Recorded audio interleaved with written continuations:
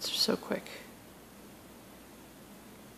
But to me, it's almost like the connection is loose or something for the screen.